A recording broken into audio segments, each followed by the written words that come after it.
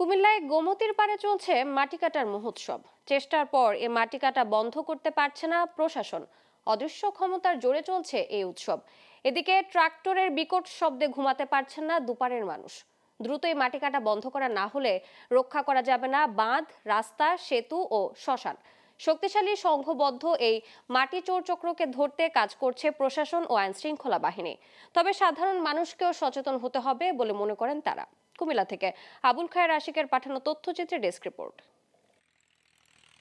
কুমিল্লার বুক চিরে বয়ে গেছে গোমতী নদী। একসময় এই নদীকে ঘিরেই গড়ে ওঠে প্রাচীন এই জেলা। বিস্তৃত হয়েছে শহর কিন্তু বিলীন হয়ে যাচ্ছে গোমতী। আর চোর চক্র কেটে নিয়ে যাচ্ছে গোমতীর পাড়ের উর্বর মাটি। এই কাজে ব্যবহার করা হচ্ছে কয়েকশো ট্রাক্টর।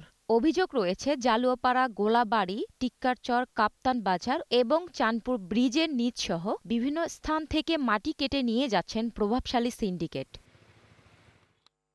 এভাবে মাটি কাটায় যে কোনো মুহূর্তে ভেঙে যেতে পারে বেড়িবাঁধ। নদীর পাড়ে গড়ে ওঠা শ্মশান মসজিদও বিলীন হয়ে যেতে পারে নদীতে। তাই এই ঐতিহ্যবাহী গোমতি রক্ষার দাবি এলাকাবাসীর। একটা বাচ্চা যদি ভরে বাচ্চাটারে তোলবার মতন আমরা শক্তি নেই কে শ্মশানের মাটি যে কাটতে লেতেছে কাটতে কাটতে শ্মশানের মানে সামনে গেছে গা। কিছু করলে কয় কি আমরা আমরা কাটবো আমরা উপর থেকে নির্দেশ আছে। এক সময় গোমতী থেকে তোলা হতো বালু। এখন মাটি কাটার ফলে থেমে গেছে বালু উত্তোলন। মাটি খেকোরা না থামলে বড় ধরনের দুর্ঘটনার মুখোমুখি হবে কুমিল্লাবাসী। কেউ মাটি কাটতে পারবে না। কেউ মাটি কাটলে জহন্তনে প্রশাসনকে ইনফর্ম করার জন্য আমাদেরকে বলে দিয়েছে। আমরা চাই অচি- অচিরে মাটি কাটাগুলা বদ্ধ হোক।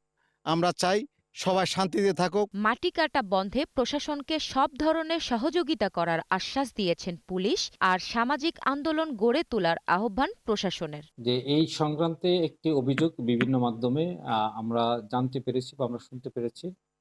সংশ্লিষ্ট সকলের সাথে সমন্বয় করে আমরা জেলা পুলিশ প্রয়োজনীয় ব্যবস্থা গ্রহণ করব যাতে এটা বন্ধ হয়। সকলে যদি একসাথে কাজ করে এবং এটিকে যদি একটি সামাজিক আন্দোলন হিসেবে আমরা গ্রহণ করি তখনই আমার মনে হয় যে এই ফসলি জমি রক্ষা করা সম্ভব হবে গোমতী নদীর থেকে মাটি কাটা বন্ধ হবে। শিগগির অবৈধভাবে মাটি কাটায় জড়িতদের আইনের আওতায় এনে শাস্তি দেওয়ার দাবি গোমতীর তীরের বাসিন্দাদের। Global television news desk.